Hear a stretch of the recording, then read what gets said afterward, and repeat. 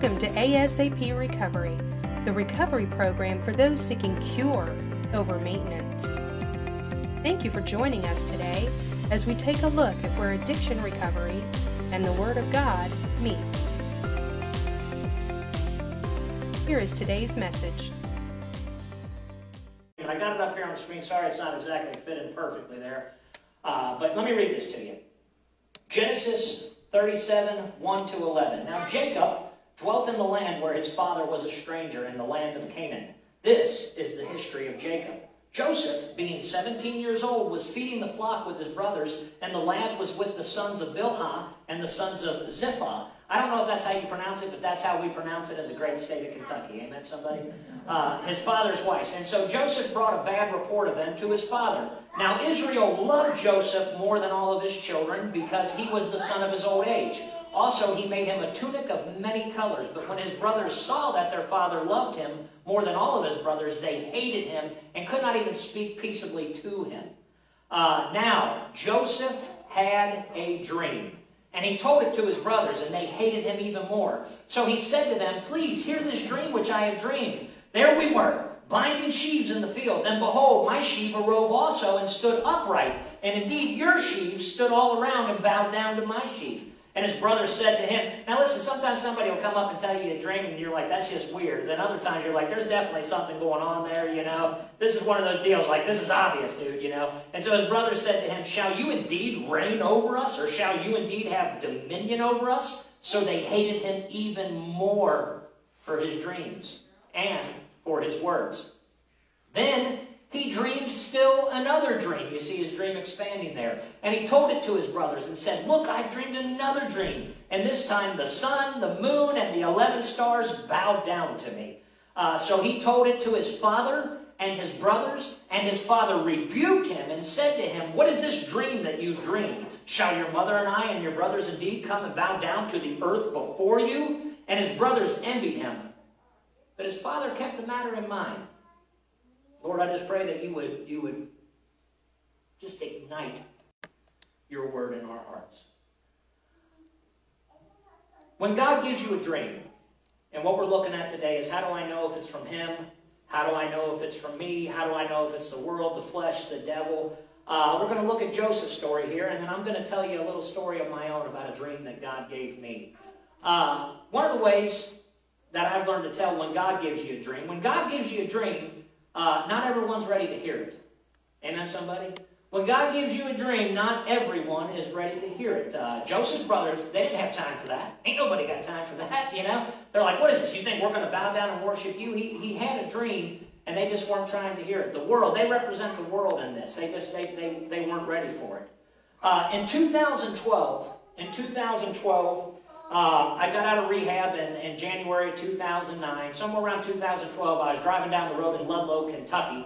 And uh, when I did that, um, the Holy Spirit whispered to me, Would you build me a church? Just in my spirit, just as plain as day, Would you build me a church?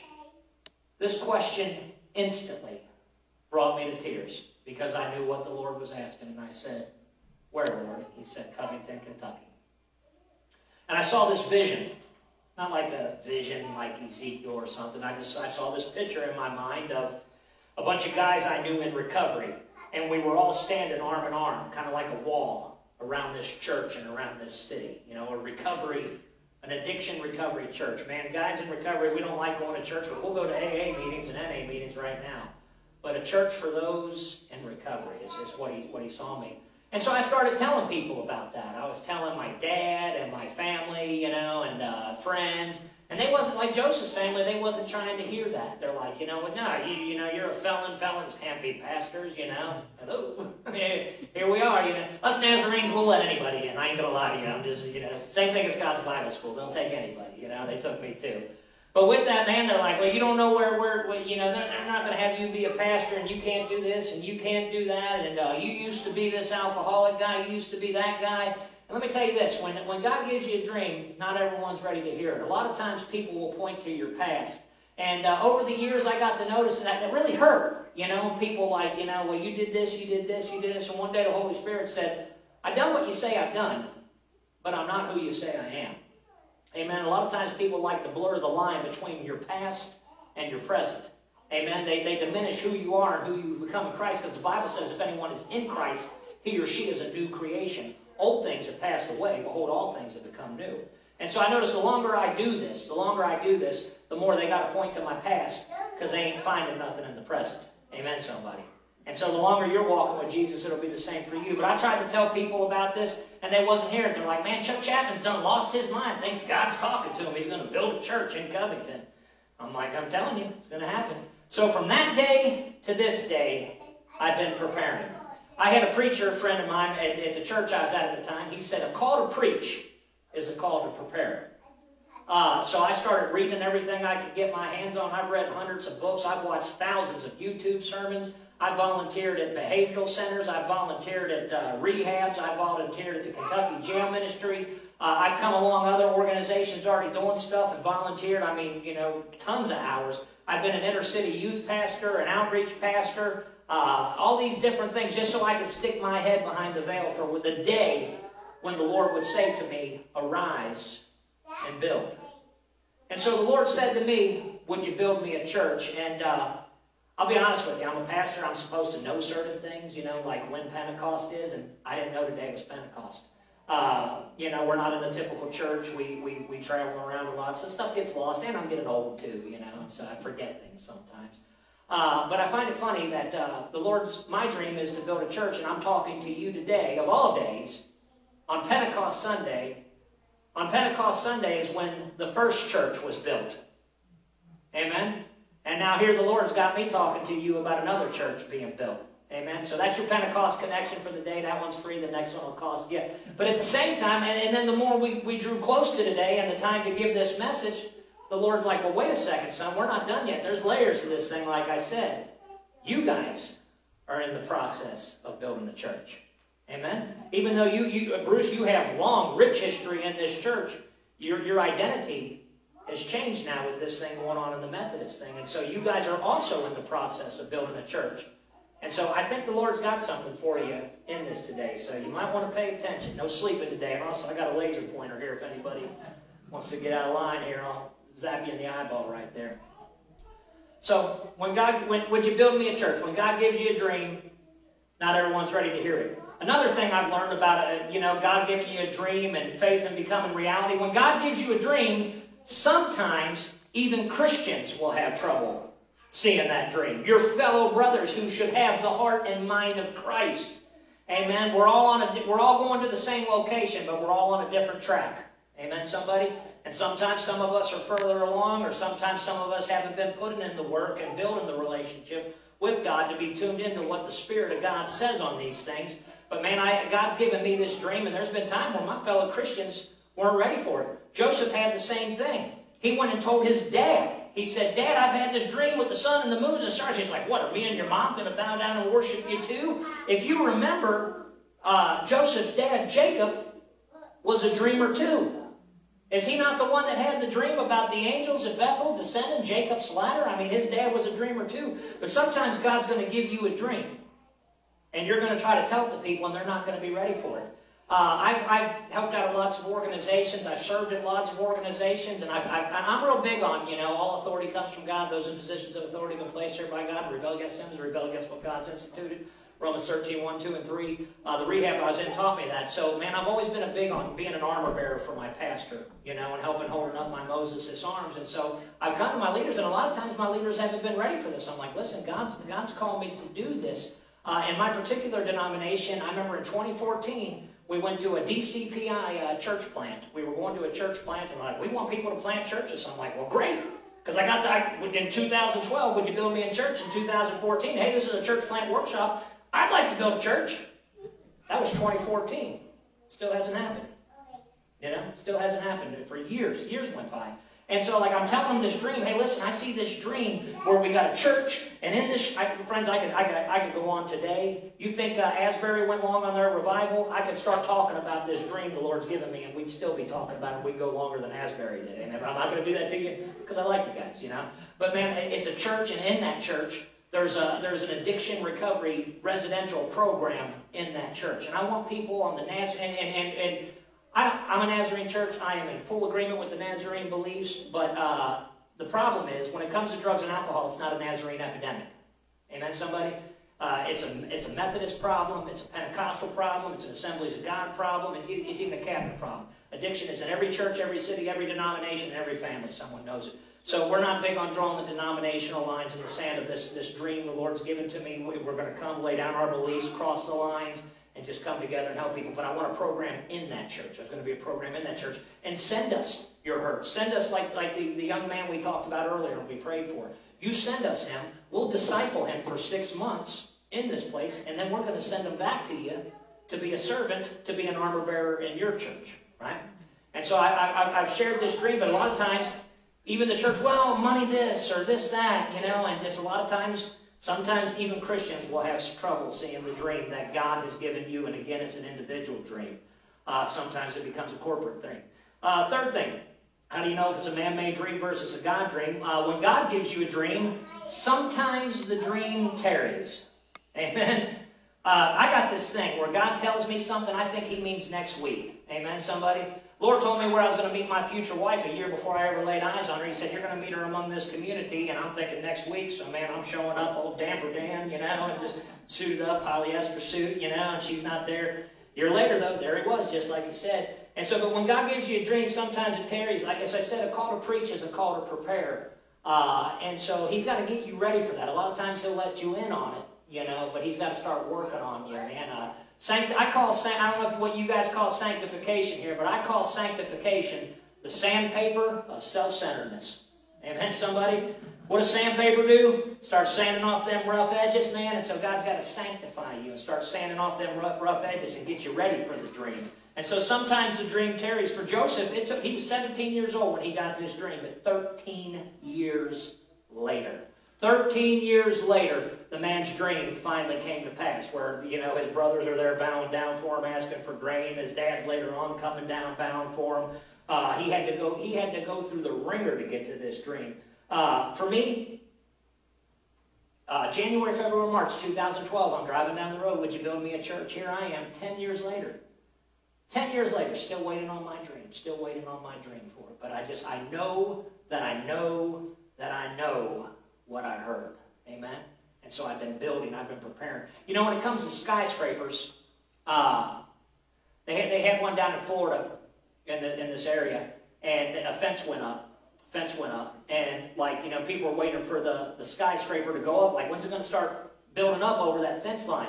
But then uh, a friend of mine, he, he, he got down uh, up in, a, in another skyscraper, and he looked down, and he could see over the fence because they had everything blocked off, and they were digging down. Amen? That's how skyscrapers are built. You got to dig down before you can give up. And so when God gives you a dream, sometimes it tarries because you got to dig down into the roots of your spirit before you can get up to hold all that weight when the storms of life come. And so sometimes the dream tarries. For Joseph, 13 years. For me, it's, it's, it's, it's been 10 years.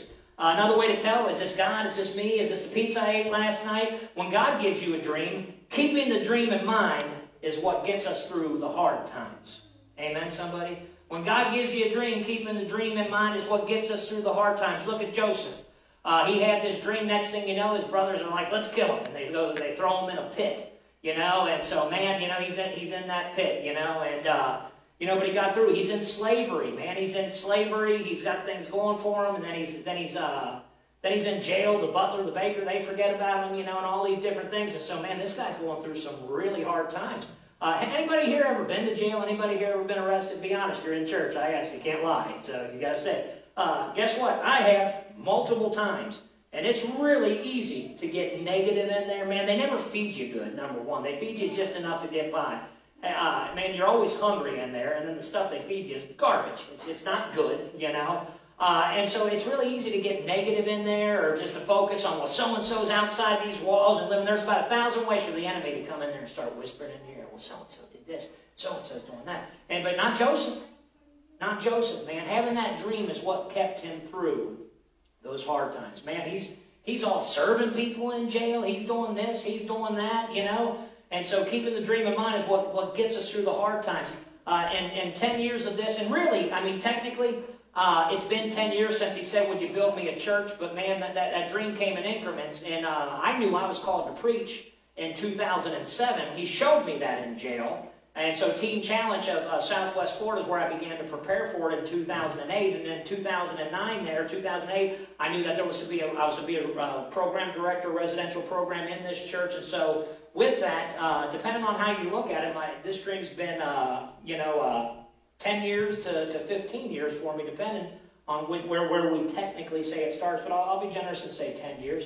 And there's been some ups and downs during those 10 years. Amen, somebody?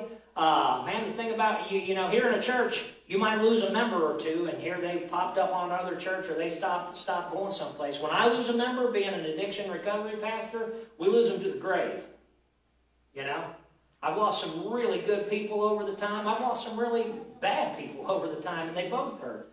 Uh, also, I often say that working with people in recovery, addiction recovery, it's like trying to hug a cactus. Amen, somebody? It's like, but hug, it nonetheless. You must hug that because that cactus needs hugged. And they don't even know it. And so, man, they uh, it's like feet in the mouth that bite you. And uh, with that, uh, man, I, these people I'm trying to help, and the Holy Spirit will give me something like, hey, this brother or sister's got a chink in their armor, and I don't get any joy out of going and saying, tighten up, you know, get your game together, what's the matter with you? But I got to go to them and, and this and that. And then usually, what, what does an offended brother or sister do? You know, the wall goes up and arrows start flying over at you. Well, you this, and you that, and you this, and you that. And man, uh, I was really going through it. Had a bunch of people in recovery. I'm like, pastor, I'm talking to my pastor, I'm like, this one's doing this, and this one's doing that, and these two were doing it together, and this and that. He's like, you're lucky. I'm like, what are you talking about? And he's like, hey, at least in your line of ministry, the, uh, the defiance is much more blatant or high-handed. You know, he's like, in my line of ministry, it's much more subtle among church people. I'm like, you know what? My life just got a lot better. At least I'm not Pastor so-and-so. He's got it rough, man. For, pray for that man, you know? But with that, man, the blows come, and they come frequently. And, and usually with me, it's funny, because um, you know, like I'll take a hit, I'll take a hit, I'll take a hit, take a hit, and then it'll be the little straw that breaks the camel's back. You know, and I've got my own recovery issues. I got I got some deep childhood issues of abandonment and rejection. You know, and with that, you know, so, and usually when people get offended in recovery, what do they do? They reject you and then they abandon you. I said to the Lord one day, I'm like, Lord, you put me in a line of ministry where I got to deal with these issues all day long. He's like, I'm getting you strong, son. But with that, I'll get these hits and these hits, and then it'll be something insignificant, and it'll all just flood me and then it just takes me out. You know, I just go down like a sack of potatoes. I'm laid in bed, you know, watching TV, checking out, and there's Lisa's there, my wife, to pick up the pieces. Who ministers to the minister? Let me ask you that. You ever think about that? Who ministers to the minister? That's my minister right there, you know, and I'm hers, and so it works out well. But man, uh, I've had a dream, and, and, and I've had these people rebel against us, and, and, and, and the kindness and the goodness to them. We've paid their rent. We've got them out of jail. We went down to London, Kentucky to pick them up and, you know, only for them to get lippy with you and, and this and that. But God's given me a dream. And I can see it. I can see it just as clearly as I'm seeing you with my mind's eye. I can see it. And no matter what they throw at me, I get back up. And I try again. I get back up and I try again. I get back up and I try again. Uh, I've lost people. I've had blamers. Uh, also, um, so the pastor said to me, a call to preach is a call to um, a call to preach is a call to um, prepare. I would also add that a call to preach is a call to poverty. You don't, you don't do this for the money. Amen. Uh, I mean, I've had job. I've, I've, I've been full time in the church for two years, unemployed at one place, a hundred bucks a week for two years at another place, uh, and then another additional two years stint. I've been unemployed for the last two years. You know, uh, but I got my sugar mama Lisa there. She's got a full time job. That helps out. You know, young man, when you get older, you, you're going to want to get you a sugar mama. We'll talk about that after the service. But uh, I digress. Hey, uh, when God gives you a dream, keep it in mind what gets you through these hard times. There's, there, there's a promised land. Uh, when God gives you a dream, I'm going to speed it up now. Uh, when God gives you a dream, the dream helps us to sift everything else in life through. When God gives you a dream, it helps us to sift everything else in life through. Uh, Joseph had Potiphar's wife. Amen. She's like, hey, lie with me, lie with me, lie with me. And he's like, no, I can't sin against God like this. I can't, I can't do that, you know. And, and uh, you know, the, the baker forgetting about him, his brothers throwing him in the thing, you know, and just all these things. It's just like, man, I can't, I can't do this because God has called me to do this. When God gives you a dream, it helps you to make a cost versus value in that. Amen, somebody? Uh, for me, I've had lots of false ministry, uh, uh, uh false ministry opportunities. People come up and said, I have some good, some bad. Uh, I had some a church. They, they were in a time of transition, and they asked me to speak and I was an interim pastor, and they said, and I came in there, the Lord gave me a very specific message. Thus saith the Lord, settle down, get comfortable, build houses, you're going to be here a while, don't jump at the first pastor that comes along in this pastor search. God wants to do something at you, so what did they do? They jumped at the first pastor that came along, me. They offered me the job. They're like, oh, we just think this guy's great. We want to, you know, I don't know what they were talking about, but they, that's what they thought, you know. And they said, oh, we, would like to give this guy the job. And, I, and, and I'm like, I was like, no, I'm not taking the job. You didn't even listen to my first sermon. Don't jump at the first guy. You're not going to listen. I'm not the guy for you. But with that, false ministry opportunities and also helping to weigh and sift through. In 2019, the Lord started talking to us about an open door. Started talking to us about an open door. In 2020, I felt like I was supposed to resign my paid position at the church, finally make an income eh, as a pastor, I was supposed to resign my paid position, finish the addiction recovery book I've been writing for the last five and a half years to help my brothers and sisters, and to step out into the unknown and go to church. And that whole year, uh, the Lord kept giving me Hebrews 11.8. Hebrews 11.8. Uh, by faith, Abraham obeyed when he was called to go out to the place which he would receive as an inheritance, and he went out not knowing where he was going. Friends, this is not a popular verse. I could not outrun this verse to save my life. It was everywhere. It was in sermons. Uh, Oswald Chambers utmost for his highest. Uh, I think I even saw it on a cereal box one morning. You know, I'm there doing my, my, my Cheerios, you know. And, uh, and just, man, just the Lord kept using this verse to say, I want you to resign. I want you to step out. I want you to do this. And so uh, I convinced Lisa that in 2020. And now listen, well know what 2020 was. COVID. Not a good time to be quitting a job if you're lucky enough to hold on to one, but the Lord said so. So in 2021, we uh, we uh, put in our resignation at the church in April uh, Sunday of uh, 2021. We uh, was my last Sunday. We set out, and by December of that year, uh, I finished writing the addiction recovery book that the Lord gave me. Uh, there's actually a copy of it back there on that bottom shelf that belongs to Dr. Berg if somebody would like it. Um, shortly thereafter, September of the following year of September of 2022, we formalized and started a 501c3 nonprofit in the state of Kentucky with our ASAP recovery program. I don't know if you guys know the guy in the blue shirt there, but that he's a Methodist, Richard Miles, good friend of mine. And uh, so yeah, we and uh, also uh, Kristen Bird's on our board, but she wasn't she wasn't uh, there at the time. And uh, that was uh, October of um, 2022. In November of 2022, the Lord and, and so we got two different things. We got this ASAP recovery program, but then there's Recovery Community Church, and that's when the Lord gave us a name Recovery Community Church for our church in Covington. And uh, it, we're going to keep the focus on three things Jesus, freedom, truth. Jesus is the way, the truth, the life. He who the Son sets free is free indeed. And so the whole thing overlaps there. And so, uh, right about the first of the year, 2023 here, the Lord gave me a follow up verse. Uh, Hebrews 11 9, he said, By faith he dwelt in the land of promise, as in a foreign country, dwelling in tents with Isaac and Jacob and the heirs of him with the same promise the word tense just started coming up. Tense, tense, tense, tense. And so I was like, Lisa, I don't know what's going on, but uh, I just feel like, you know, we're traveling around on Sundays and tents are portable. Tents give you shelter, but they're not your home. Um, you know, and so 2023 is to be our year or season of dwelling in tents. And so, uh, and also about that time, I, the Lord said to me in 2012, would you build me a church? For some reason, I could have started walking the streets of Covington in 2012. And, um, but I just, for some reason, I did not feel like I was allowed to do so until 2023. There was a season of preparation, a season of, of getting ready. But in 2023, I felt him say, Arise and build. Arise and build. And so we started walking the streets, finding out what other crossing denominational lines, finding out what people were doing and coming alongside them and just helping remove mental, emotional, spiritual, and even demonic roadblocks. And we started hanging out over here and hanging out over there, speaking when we were called to do so. Dr. Bird had us here a couple times. You know, you guys remember that? And so 2023 has been our year of dwelling in tents. And I was like, you know, I feel like we're supposed to get like a tent, like an actual, like the old, old holiness tent revivals, you know? And so I can't afford one of those tents, so I got me a 10 by 10 uh, canopy tent. And here in the last couple of months, um, I just felt something inside of me saying, uh, start making, hit the gas, not the brakes. And I'm drawing this to a close. I know we're a couple minutes over, but you guys gave me the mic link. That's on you. That's on you. Uh, so, it was, um, what was my last one? When God gives you a dream, the dream helps us to sift everything in life through. This has not been an easy call, it's not a popular call. We're probably not going to see a lot of ministry people led to the Lord saved. I mean, most of the people we're dealing with are homeless, follow ups, hard, and stuff like that. But just like that video we watched before, It doesn't matter if you win 40,000 to the Lord over here if God's called you to win two over here. Amen, somebody? So we've been dwelling in tents, and uh, last year, when God gives you a dream, the dream often has to die multiple times before it can be born of God. Amen?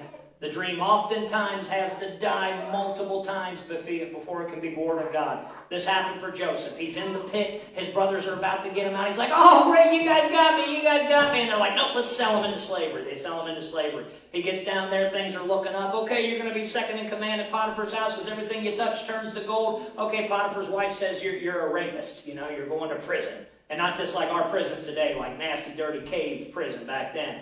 And so finally, you know, the butler, oh, this guy's got got the, got the pharaoh on the main line. He's got him on speed dial. Hey, remember me? You know that I interpreted this dream for you. And the butler forgets for it might have been the butler or the baker. I forget which. I get this confused.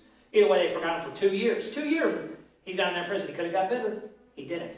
Uh, his dream. He had this dream that one day the sun and the moon and the she's are all going to bow down and worship.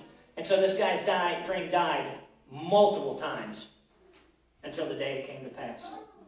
Sometimes when God gives you a dream, the dream often has to die multiple times before it can be born of God. My dream of would you build me a church, this is what I come here to tell you. My dream of would you build me a church has had to die multiple times. I thought it was over here. I thought it was over there. I thought it was in this building. I thought it was in that building. My dream has died so many times uh, that I lost count. That is until last week when I got a phone call from the district superintendent of the Church of the Nazarene. And he says, We want to recognize you at District Assembly as a Church of the Nazarene. And so, as of last two weeks ago, two weeks ago, uh, we got the call, and as of two weeks ago, our faith left the realm of faith and walked into reality. And now we are officially Recovery Community Church of the Nazarene. Amen, somebody? We are a place where Jesus is king. We are a place of freedom. We are a place of truth.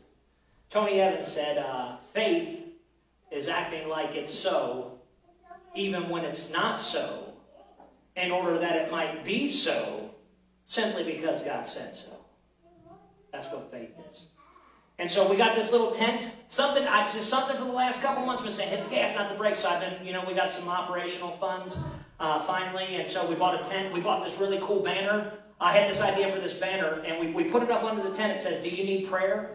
Do you need help? And do you need encouragement?" You have no idea what this simple little banner has done. We set this tent up in Goebel Park in Covington, Kentucky, Main Strasse, and for four hours, four hours, people come by. They saw that banner, and they're like I'd like prayer. I'd like help. And people would come under our tent. We got chairs, and they just come in and they sit down and they just lay their soul bare, just completely bare. Tell us their most innermost secrets and thoughts for to complete strangers, me and Lisa.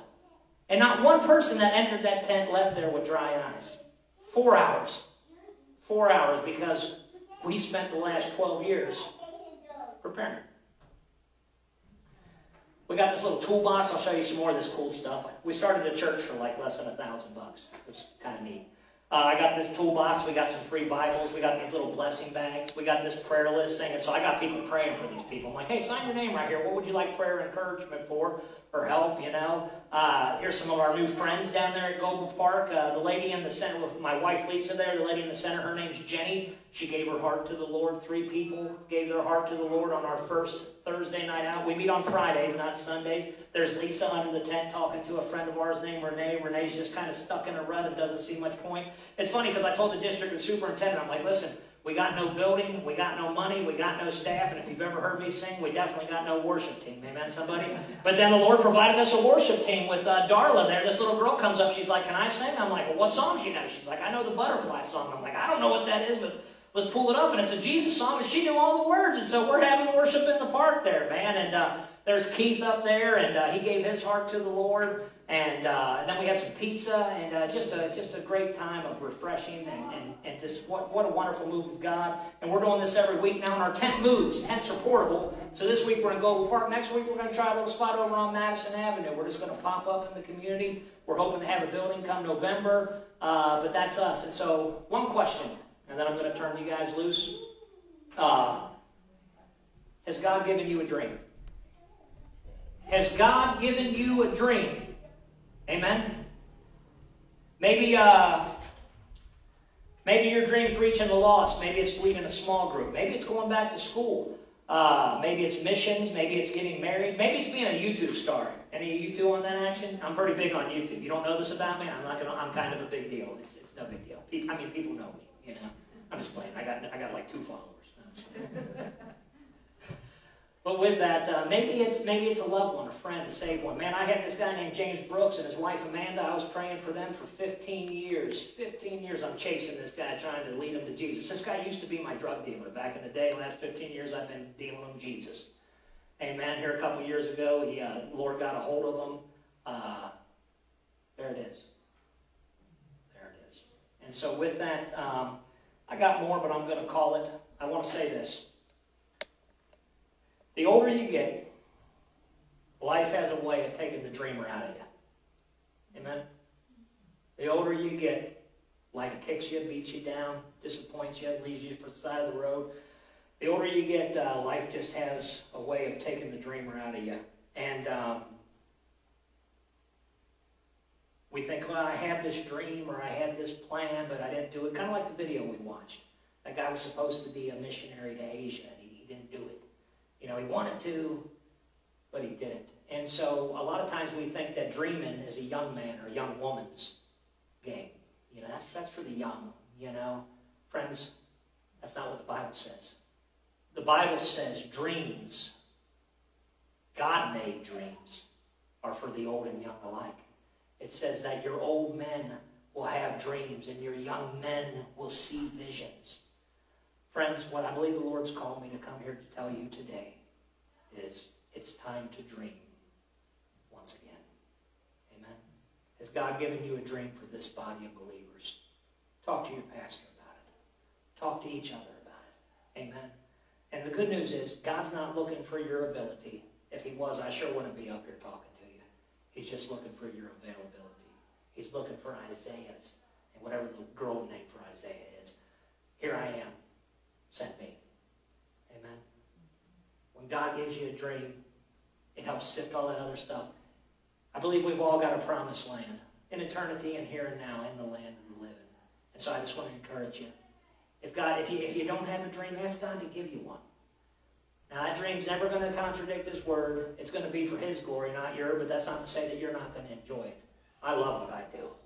I love it. And uh, whatever your dream is, you'll love it too. It's time to dream once again. Let's pray. Thanks for joining us today. Until we meet again, remember, you can be recovered.